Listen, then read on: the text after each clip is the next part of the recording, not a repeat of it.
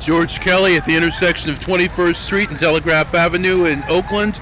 After First Friday, Officer Kay Rucker of the Oakland PD told me that someone saw a gun in the crowd and they managed to get the gun away from the gentleman.